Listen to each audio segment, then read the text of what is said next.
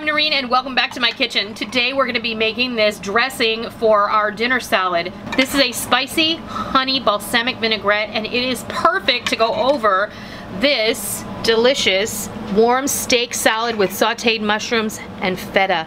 And I can't wait to share this dressing with you. Let's go see how this all comes together.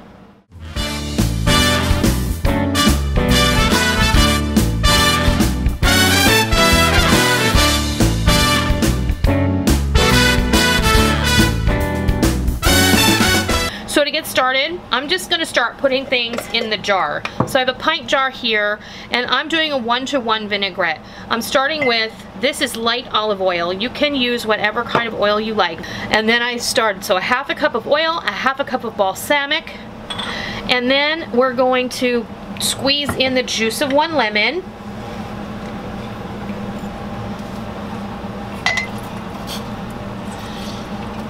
And if you're just using regular lemon juice, you can just use about a tablespoon. I'm gonna add two tablespoons of water. We're gonna add about two tablespoons, which is two good squeezes of a honey, whatever honey of your choice. And I'm gonna add one good squeeze of a horseradish mustard. Now if you don't have horseradish mustard, but you have horseradish and mustard, you can figure it out about a tablespoon of that. The mustard is super important because it emulsifies the dressing when you shake it so it doesn't separate easily. We're gonna add a teaspoon of my steakhouse style seasoning and you can see how it's all separated and everything's kind of non-homogeneous. Once you give this a really good shake, that mustard is gonna do its job and work its magic and everything is gonna come out beautiful and homogenized. I'm gonna give this a bit of a taste. See, it's got a nice nappe to it. That's what it means when it sticks to the spoon. That's really good, isn't it? Pretty good. Mmm. So, that is super simple.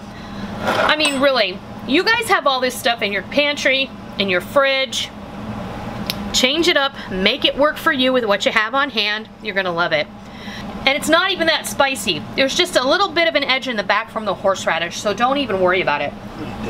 The honey really offsets that heat. So this is delicious, and you can see all of our seasonings that are floating around in there.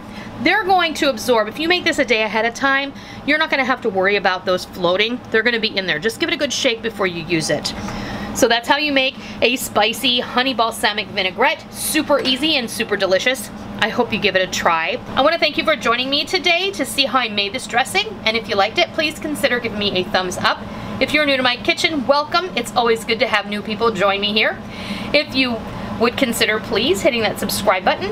And if you are a tried and true member of the Noreen's Kitchen family, please remember to hit the bell notification button so you don't miss out on all the real food for real people, real easy recipes that we present all the time right here on our YouTube channel and straight from our kitchen.